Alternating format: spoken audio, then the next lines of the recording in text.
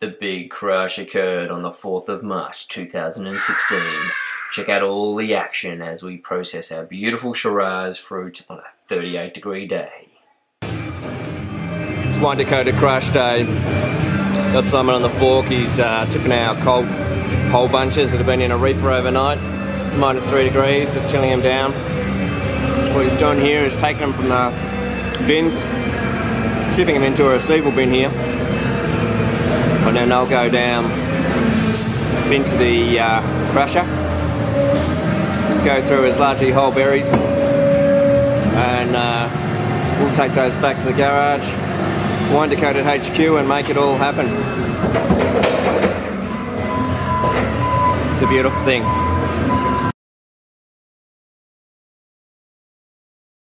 a Whole bunch is going in.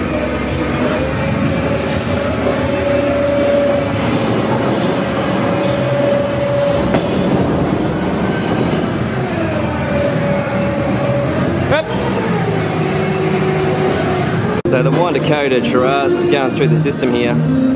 You can see the fruit being tipped into the top.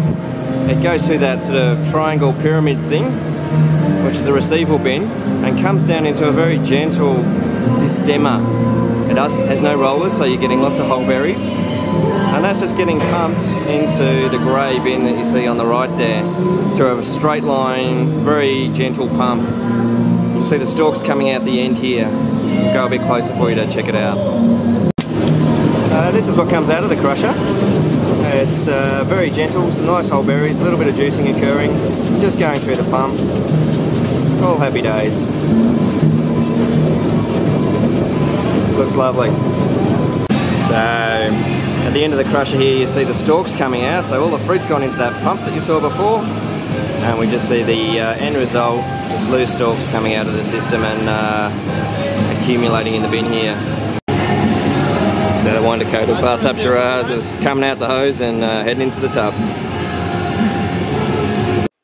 The truck has landed at Wine Decoded HQ. Time to bucket. Hey, so it's Wine Decoded Crushing Day, and we've got three different ferments going on with the same Shiraz fruit. So I thought I wanted to run a, that by you a little bit. So one of the things that we're going to do in one of the ferments is throw stalks in, but we're going to do it in a tea bag, a giant tea bag. So we've started here wrapping it in muslin. We've got a heap of stalks in there, and we're going to throw that in the bottom of one of the ferments.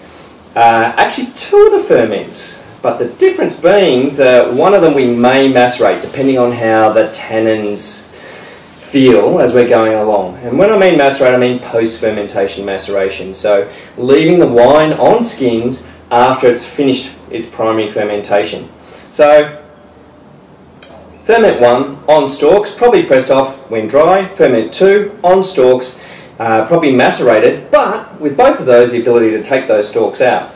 In the third ferment we've actually got some whole bunches. So we've got about 30% whole bunches that we're going to throw in there and we're going to see how that goes. The reason we're doing all these different fermentation techniques is because this is the first time we've seen this particular fruit and we want to get a, an idea of how it behaves under different circumstances. We're going to have to be pretty agile, we're going to have to keep tasting, we're going to have to keep checking what's going on with it over time and if need be, pull these stalks out. If need be, press early. Uh, and conversely, if it's looking really good under maceration, continue maceration and, and put, pushing, the, uh, pushing the boundaries with that, that fruit. So we look forward to giving you some more updates as we go along. Once these babies are, are full, it's 36 degrees today, so we're going to try and get these full now and try and make sure they're, they're kept cool. So until the next episode, thanks uh, for watching from Wine Decoded and look forward to sharing a bit more with you. Cheers, bye for now. 140 buckets later, we'd finally finished unloading the fruit and had it all safe and sound in our bathtubs. Backbreaking on a 38 crazy degree day. Finally, we can celebrate with beer. Woohoo! The tea bags were in with their stalks.